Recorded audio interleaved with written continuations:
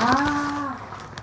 Pati yun, yun tol yung binain ano niya. Dinagdagan pa ang tapo ng Hong Kong tol. Ganun, eh di dapat i-reflect yun ano. Wala like naka-reflect naman po. Naka-reflect. Ibig sabihin beforehand pa. No. Question one. Oh, 13.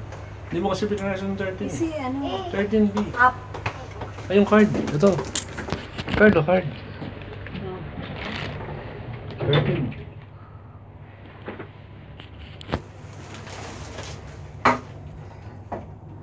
Okay na. Nag-charge kaya kila Herschel yun, taxi.